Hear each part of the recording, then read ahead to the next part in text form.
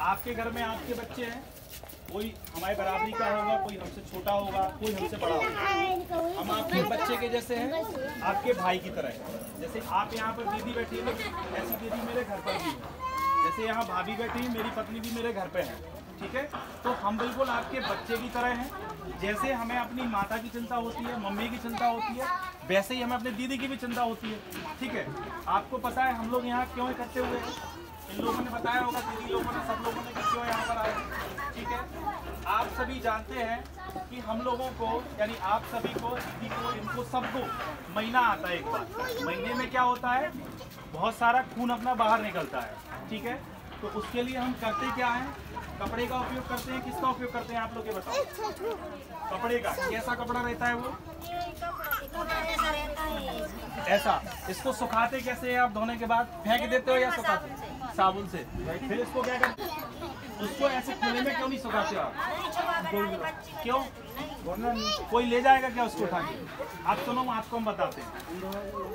अगर आप ऐसे कपड़े का उपयोग करेंगी तो आपको पता है बहुत सारी बीमारियाँ होती हैं। जानते हैं आप, कई सारी महिलाओं को जैसे बांझ का नाम सुना होगा कि नहीं सुना? कई सारी महिलाओं के बच्चे नहीं होते हैं। क्यों नहीं होते? क्योंकि वो इस तरीके के कपड़े का उपयोग करते हैं तो बहुत सारा संक्रमण होता है हमारे। जिससे क्या होता है, महिलाओं को बीमारियाँ पता कौन कौन सी हो जाती है? या तो वो बांझ का शिकार हो जाती है, उनको बच्चे नहीं होते या फिर उनको कैंसर की शिकायत हो जाती है, या फिर वहाँ पर छोटी छोटी फुंसियाँ हो जाती हैं। तो इन सब चीज़ों को हमको दूर करना है। ठीक है? आप लोग कहाँ के रहने वाले हैं, बताओ? सब छतर बाहर के रहने वाले हैं। आधार कार्ड है सभी के? सबके आधार कार्ड है? सबके आधार कार्ड है? आयुष्मान कार्ड सुना है आपने?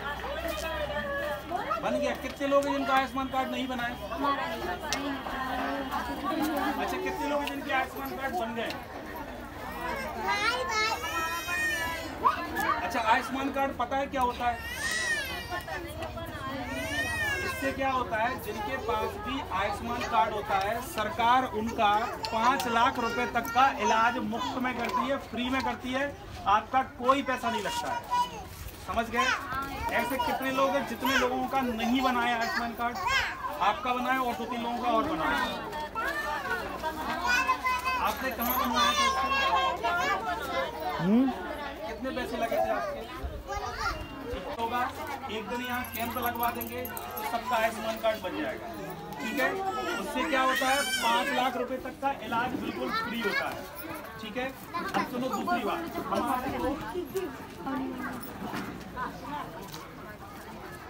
ये ऐसा एक पैकेट देकर जाएँगे सर्विस में बेड का इसके बारे में पता है? क्या होता है ये? इसका कभी उपयोग किया?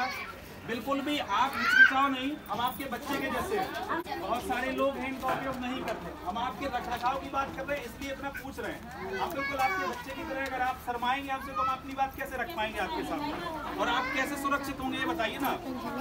तो ये जो पैकेट है, इसमें एक पैड निकलेगा बाहर ऐसा।